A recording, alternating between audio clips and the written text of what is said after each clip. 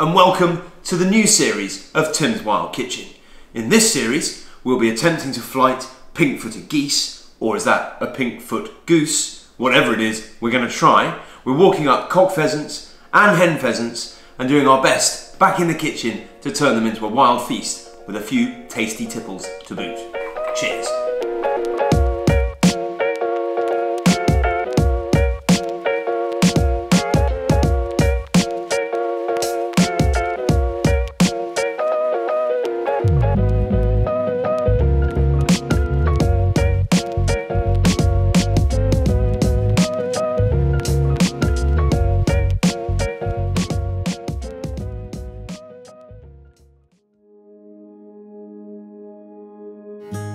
Welcome to another episode of Tim's Wild Kitchen up in beautiful field sports heaven that is Scotland. I'm looking today at this cock pheasant. We've done some nice cold smoked cock pheasant breasts. We're going to come up with a nice little Chinese style recipe for those in just a minute. But I wanted to talk a little bit about why I like walked up shooting so much. Um, I'm absolutely not against driven shooting, I enjoy that too. But it was a question that I get asked sometimes is why do you like to go out and sort of hunt your birds rather than have them driven towards you? And I think it's difficult really to explain. You, you know, there's you're much more present. I find when you're walked up shooting. Yes, there's a lot more to worry about, right? Because you've got to make sure you've got your cartridges with you. You know, you need to know where everybody is. You've got to keep in line. You've got to know if there's a stop. You have to be aware of, you know, where birds are likely to break out or whether you're allowed to shoot ground game, whether you're not, where someone's dog is, all the stuff that's going on. Has someone gone back to pick up a bird that curled back and been shot behind? If so, is there someone behind you with a dog? Is it safe to shoot behind? You know, all of that stuff. Is there a is there a byway up ahead, you know, with a bridle path, the potential hazards of people up there? All that stuff has to be sort of assessed constantly and then thought about. But in that moment where it all comes together and a, a bird flushes or a rabbit bolts, and you just have that picture in your head of where everyone is, you've got that quick second to reassess, make sure you're absolutely right, 100% safe, find a safe window for the shot, mount the gun, take the shot. All of that happens in a sort of heightened sense of kind of awareness. And when that's going on, I just, for me, I love that. I also really like to get back at the end of a day of shooting and, you know, with tired legs and feel like I've earned what I've walked about for. So that, you know, that for me is one of the things I like. And I think it's important when we think about Scotland to think about that too, because we quite often imagine, or certainly I used to imagine Scotland very much as a place, although it was full of wilderness, of big high mountains and pheasant drives and, you know, the iconic red stag up on the top of a very high corrie. But actually, there's such a massive mixed habitat of wilderness up here. Incredible wildfowling, fantastic lowland walked up shooting. Um, you know, it's a paradise for field sports. Um, you can't do the same things with a cock pheasant as you would with a hen pheasant. This is why we've dealt with them differently in separate episodes of Tim's Wild Kitchen. So the hen pheasant can go over here out of the way, and the cockbird must be admired. Okay, I've got some breasts here that I've cured already and, and, and whatnot, but I've got a stunt pheasant here just to, to bring it back out and show you again because the size of the bird is bigger. They roam further, they fly a little bit harder, they make a lot more fuss, they run around and, and stamp their feet and whatnot. And I just think they're a much more, you know, gregarious bird, aren't they? They stand out, beautiful things. And then the cockbirds always remind me much more of their Asian heritage than the hen birds with their fantastic jungle-like plumage. And that's one of the reasons that although the breasts are a bit tougher, given this light smoking, we're gonna go a little Chinese style dish. We're gonna fry some of this with a little crispy batter. We're gonna stick it in a freshly steamed bao bun, make a little bit of homemade soy sin sauce, which is a sort of cheaty hoisin, and you know, that's gonna be delicious. So here's my nice lightly cured cock pheasant breasts. They've only been lightly cured, so they're just sort of cured on the outside. Then I've rinsed them off, patted them dry, uh, and they're ready to go. Now they're all sticky on the outside in the smoker. So what will happen is we'll be raw pheasant inside, slightly smoky on the outside. It's going to lend itself really well to this little Chinesey style recipe.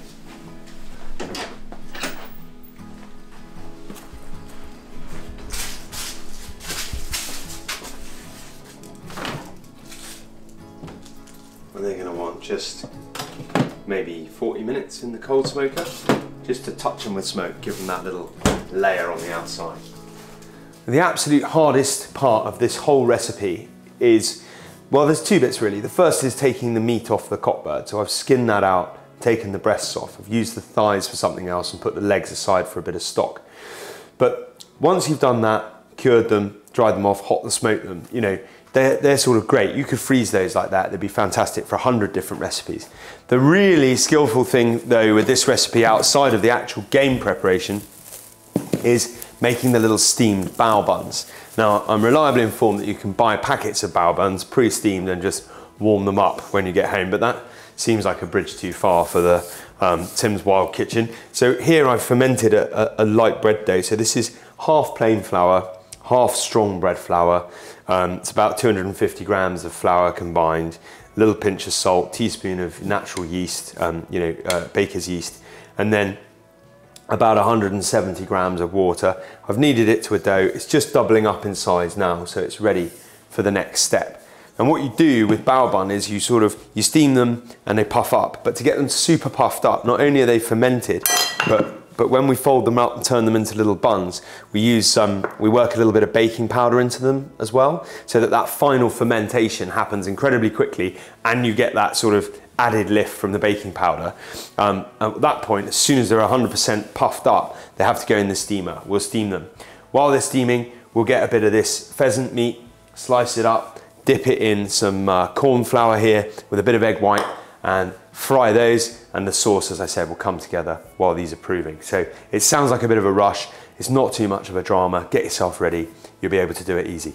So as I said, for the bao, the next stage is to take them out. So that's baking powder. It's quite a lot of baking powder, but we have got 250 odd grams of dough here. So don't worry too much about that. I'm just gonna scrape that bread dough out of there, plonk it on to that little bit of loveliness there.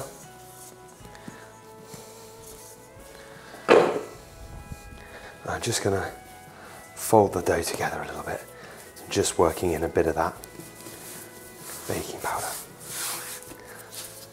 Okay, and what you'll find is once the baking powder sort of inside the dough, the moisture of the dough will activate the baking powder and it'll start to um, start to go like, you know, madness. So I'm gonna quickly shape that up, show you how to do that.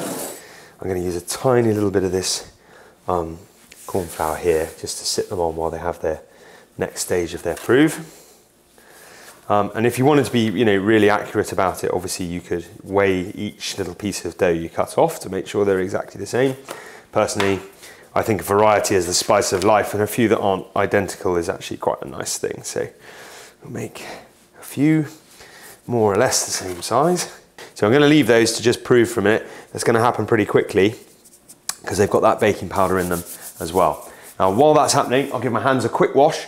We'll throw together a little bit of the sauce for the garnish and then we'll show you how to do the pheasant. This is really simple. I'm gonna start with some good quality soy sauce. I'm gonna pop that in the pan. I'm gonna add, you know, about half a teaspoon of good, um, this is a homemade seven spice, but you could get a, a nice five spice or make your own. That'll be fine as well. That's going in there. Um, less, than, less than a quarter the amount of soy, little splash of Shaoxing cooking wine. You could use a dry sherry if you wanted to. And then you know, you could also use normal ketchup, but I've got some homemade squash ketchup here. So I'm gonna use a couple of teaspoons of that. It's gonna add some sweetness and some body to the sauce.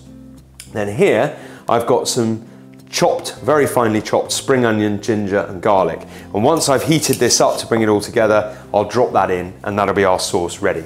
So I'm literally just gonna give that a little stir, pop it on the stove, bring it to the simmer, take it off again, that's it, job done. Our little cheaty soy sin sauce ready to rock. So my bao, they've puffed up a bit. Bit of that sesame and vegetable oil, just three fingers, gently push down on the dough so that you spread it out a little bit. Don't be too afraid to be, you know, vaguely forceful with it at this point because it's gonna puff right up again, don't you worry.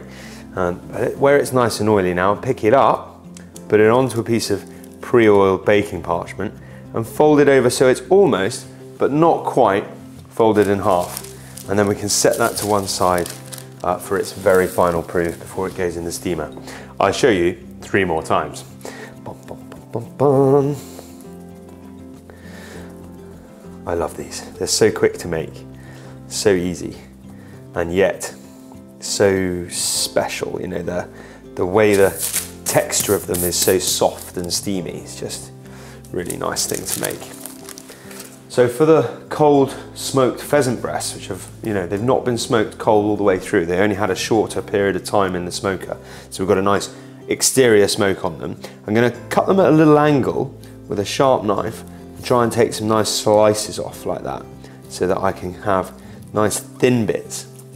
These I'm then gonna basically dip in a very light batter made of corn flour and egg white whipped together or whisked together, stirred together, and I'm just gonna fry those. Now you could shallow fry them, um, but here at Tim's Wild Kitchen, you know, when we've been off for a long walk to go and get these pheasants in the first place, we feel like we've burnt off enough calories to get away with a little bit of deep frying. Um, so we might try and, uh, and deep fry them so they'll be super crispy. And just because we're sticking these into bao buns doesn't mean that that's what you'd have to do with them if, you know, at home you could then, you know, chuck them through a stir fry or, you know, just gobble them straight out of the pan. Obviously leave them to go cool long enough that you don't burn your fingers or your mouth. So I'm just gonna make up this quick batter now. I'm just gonna put an egg white in here. You can obviously keep the egg yolk and use it for something else. They freeze very well like the whites, so you can always save them and use them for your next hollandaise sauce or mayonnaise or something. Um, so egg white, just break it up a little bit with a whisk. And then a little bit of corn flour. Actually, this is a mixture of corn flour and tapioca flour, but don't need to worry about that too much. I'm just gonna whisk that together until it looks like a sort of loose white paste. I'm not gonna worry about salt because we've got the lovely soy-sin sauce. It's gonna help us out. And then I'm just gonna get my little bits of pheasant meat and drop them into that little batter. Okay, this is all very exciting. Well, I mean, I don't get out much. It's quite exciting for me. Um, we'll just move that around in there, leave that just for a minute, and that'll be ready. Now, it's not gonna be completely coated in batter. This is not a sort of, you know, this is not the same as dipping something in a beer batter, okay? It's not gonna have like a huge layer of batter on the outside. This is a sort of lighter, crispier thing. So I've got my bamboo steamer on the go here and you've got to be quite quick. I don't want, you know, I want to build up a good head of steam. So I'm going to take off that layer, pop my first bao in there, make sure the paper's tucked down so that it doesn't all end up on top. Pick up the steamer, take the lid off, put the next one in. Now, if you haven't got a little bamboo steamer like this, don't worry.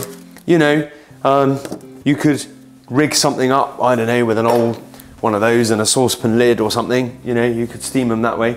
Um, but we want a good head of steam in there. And I know from past experience that this side of the Aga will take a little while to keep that steaming nicely. So I'm just gonna cheat, pop it over on the gas while they get steamed. So hopefully in here, my bao is done. Look at that, puffed up like a beauty, nice and firm. That means it's steamed nicely. I'm just gonna use the paper to lift it out I've made them quite big so that this is kind of like a chunky portion. Don't, whatever you do, think, oh, I'm not quite ready. I'll leave them in the steamer and switch it off because if you do that, you'll end up with disintegrated um, bao. Get the next popple in.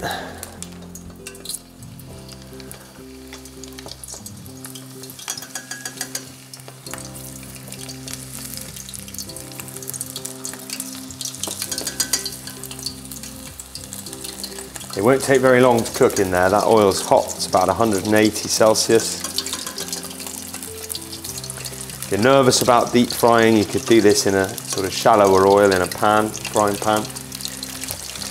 Some of these are ready, so we just take them out, drain them on a nice bit of kitchen roll so they don't go soggy and oily.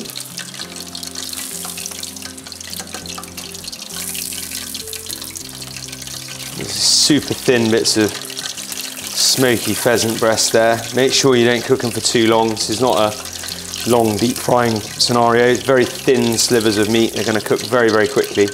We don't wanna dry it out and make it too tough.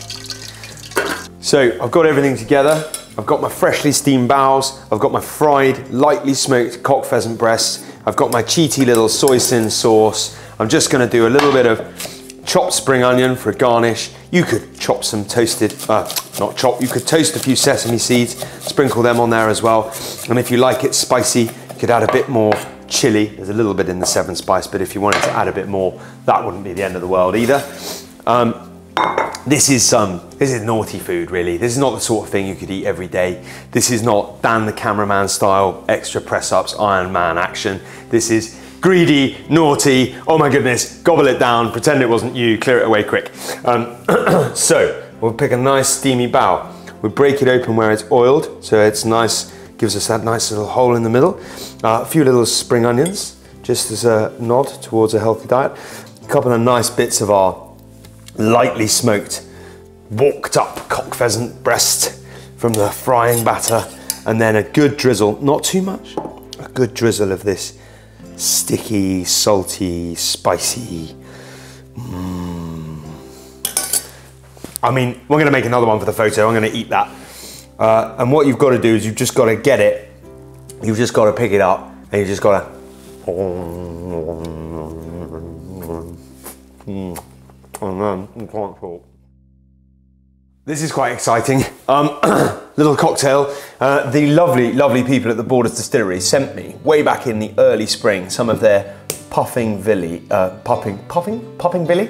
I haven't been drinking it yet, I promise. Puffing Billy Steam Vodka, okay? Now, this is a vodka that they make using new make spirit from malt uh, barley. So it's, basically it's an unaged whiskey. Now this clearly does not look unaged. That's because back in the spring, I got a trusty book written by my brilliant friend and I learned all about uh, a bitters uh, from Iceland called Bjork. And that is vodka that you pour over a whole load of birch twigs. See those in there? So I marinated them in there for about nine, ten months. And that ends up is this stuff, which is kind of like a cheaty whiskey really, because Whiskey is just new make spirit that's aged with wood. But this has got a real sort of sweet pungency to it and you get the bitterness from the bark, okay? At the same time as doing that, or shortly afterwards, I then tapped the same birch trees and made myself some birch syrup by reducing down the birch water coming out of the trees. So that made me then think, well, hang on, I know it was vodka to start with, but it's now technically a whiskey because it's been aged with wood. So why don't we make an old fashioned, and rather than using sugar, we'll sweeten it with the birch sap. So if this isn't a, a cocktail worthy of Tim's wild kitchen, I can't think of one that is. of course, normally with an old fashioned, you do whiskey and you put a bit of Angostura bitters in there. We won't need the bitters because the bitterness will come from the birch bark. So here we go, live experiment. We're gonna chill that glass down there uh, with our nice ice cube so that the glass is nice and cold. And then in a icy jug here, we're going to make our drink. Now, um, I don't want to be too devil may care about the quantities, so I'm going to use a little measure and I'm going to go for roughly half a stirrup cup of, or two thirds of a stirrup cup of Björk, as it's called. It's amazing stuff, by the way. The scent of it's incredible. And then because birch syrup, even when it's reduced down like this, isn't that sweet, I'm gonna go for near even quantities, maybe just slightly less birch syrup. Obviously, if I haven't got birch syrup, you could use um, maple syrup or you could make a little sugar syrup to sweeten it up a bit, but don't use this much because it'll be sweeter. I'll pop that in there. I cannot, for the life of me, find any good reason why I shouldn't put a little bit of orange zest in there uh, to really underline the idea of the old fashioned. So I'm gonna put a little bit in there a little bit in my glass as well. Before I put that in my serving glass, I'm gonna break the skin over the serving glass, and whilst you can't see it, that's releasing lots of orange oil into the glass. That goes in there. I'm gonna stir together my Björk, or Bjork, is it Bjork? Björk? It's nice and quiet. I'm gonna stir it around, stir it around, and then when I think it's nice and cold, give it a little bit longer. It's oh so still. I don't think I'd have cut it as a pop star, to be honest. Anyway, never mind. Um, nice and cold, nice and cold. And then I'm just gonna pour it over my chilled glass with that big chunk of ice in it. And that is the old fashioned of dreams. All right, it takes nine months to make, but you know, can't rush everything, can you?